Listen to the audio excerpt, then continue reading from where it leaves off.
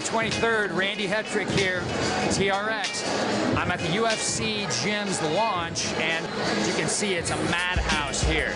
We're going to be doing a couple of great demos down in the Octagon with Brandon Vera and Kerry Vera. Pretty cool stuff. Fun way to spend a Saturday.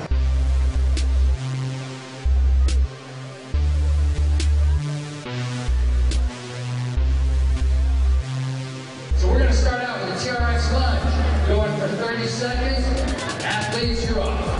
Athletes. We got here at the UFC gym this morning. We did two demos for TRX. It was awesome. We just wanted to show the crowd what TRX is all about. Got our workout on. It was a great workout in 15 minutes. It was perfect, man. You know, we got to show different variations in the TRX system that we use, different types of exercises, different difficulty levels, and people got to see what TRX was. Five seconds.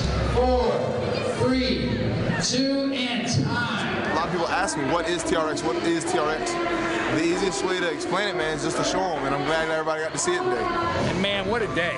I mean, we had TRX demos with Brandon and Kerry Vera, which was fantastic. A couple of our sponsored athletes that have been with us for since we basically launched this as a business. And then beyond that, there are a host of great fighters. It was great fun for me. I got to bring my kid, met and got pictures with Chuck Liddell and Dana White, obviously Brandon Vera.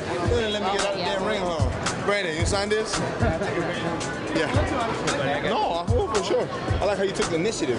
Hanging out with the fans here at the UFC gym is cool because all of them are really UFC fans. They're why we have a job, you know? Without the fans, we really wouldn't have anything. We'd be in the garage right now beating up on each other. Hey, so one of, one of the great parts of my job, right, getting to work with great pros who also happen to be great friends. Uh, these guys came, supported TRX today, supported UFC gyms today. It was uh, it was a great time. I feel like a bit of a slacker. They both worked their butts off. I only work my mouth, but other than that, you know, it was terrific. So uh, thank you to the Veras for uh, for joining us, and all you guys out there who will see this, watch these guys their upcoming fights because they're going to kick some serious butts.